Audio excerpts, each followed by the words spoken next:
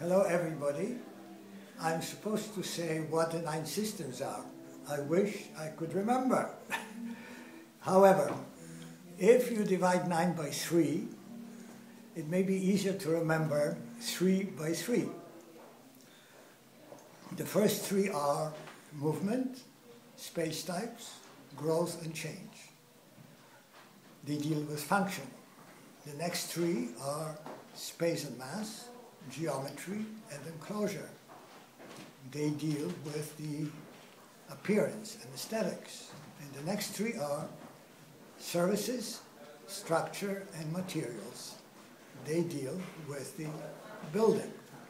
So, happy Nine Systems to you all, and I hope I'll see you soon, next year, the year after, or in 10 years. All the best.